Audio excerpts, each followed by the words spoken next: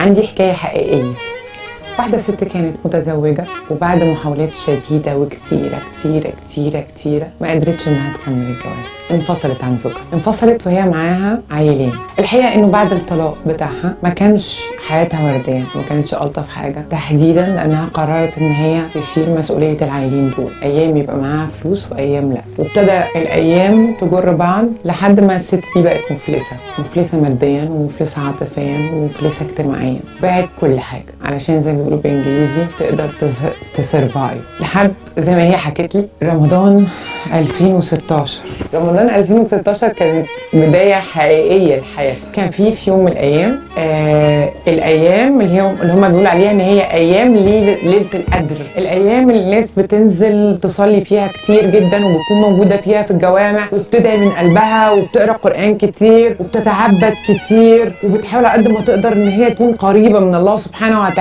في يوم من الأيام اللي الناس كانت بتقول عليها إن هي مش متوقعة إن هي يكون ليلة قدر. الست دي كانت حاسة إن اليوم ده يوم ليلة القدر يوميها كانت معزومة في بيت عند أصحابها ورفضت في الأول إنها تروح العزومة دي لكن بعد ضغط شديد جدا جدا من أصحابها هي قررت إن هي تروح هذه العزومة اللي كانت على السحور. دخلت البيت وسألت الست صاحبة البيت فين السجادة؟ فين أوضتك؟ فين الإسدال؟ لبست الإسدال ودخلت الأوضة وقعدت في الأوضة ساعتين أو ثلاثة لدرجة إن الناس اللي بره كانوا خايفين لا يكونوا الست اللي جوه دي جرى لها حاجة كل شوية يخبطوا عليها ويقولوا لها انت كويسة؟ سجدت ودعت وعيطت من قلبها.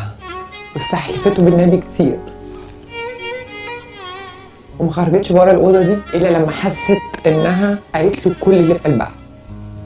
قالت لربنا كل اللي في قلبها. ودعت بكل اللي تقدر عليه واللي نفسها فيه. وكان عندها يقين في الليلة دي تحديدا حتى لو ما كانتش ليلة القدر إن كل اللي طلبته من ربنا هيتحقق. واتحقق بعد أيام عديده من آه نهاية رمضان ودخول العيد. جالها شغلانه كويسه جدا بقى معاها فلوس وعوضت اللي باعته. وعندها مركز وشقة. وبقى عندها ناس بتحبها. وما بقتش مفلسة اجتماعيا. وما بقتش مفلسة ماديا. وما بقتش مفلسة انسانيا القصة دي قصة حقيقية لشخص قريب مني جدا. اللي عندها مشكلة مع جوزها مش قادرة تسيبه وبتحبه تدعي له بالهداية وتدعي ربنا إن ربنا يهديه لها. اللي قلبها وجعها من قصة مؤلمة أو دخلت في علاقة وانجرحت فيها ومش قادرة تعدي مش عارفة تنساه. تدعي ربنا إن ربنا يطبطب عليها ويطيب قلبها. اللي معهاش فلوس تدعي إن ربنا يرزقها. اللي عايزة تتجوز ومفيش عريس تدعي إن ربنا يرزقها بعريس اللي عندها مشكلة مع أمها وأبوها وبيضربوها ومش عارفة تتعامل معاهم تدعي ربنا إن يهدي لها أبوها وأمها. اللي بتشتغل ومفيش بركة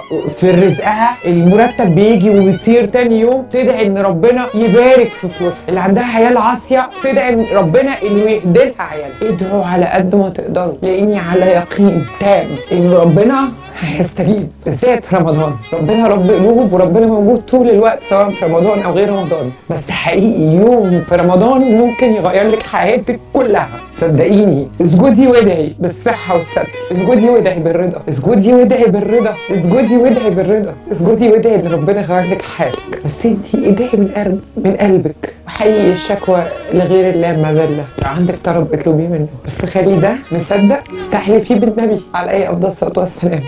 ما تقدري. كل ليلة كل ليلة وترية كل ليلة. يقال عنها انها قد تكون ليلة القدر. ادعي وعيطي واستغفري واطلبي اطلبي. ده ربنا. وأنا على يقين إنه بعد ده ادعوني أستجب لكم. ربنا يوعد بكده.